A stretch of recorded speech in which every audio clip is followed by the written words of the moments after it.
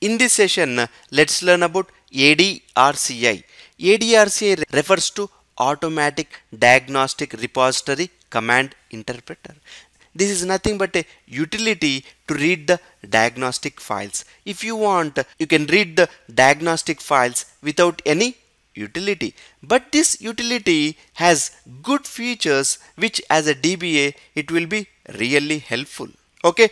Using this utility, you can view the data present in the diagnostic files and also you can find the relationship between an incident and a problem and also you can create the incident packages and zip them to send it to Oracle support. Because of these various features, uh, it is recommended to use this utility. Okay? In the next session, we'll go to the Oracle database and explore all these options. Okay?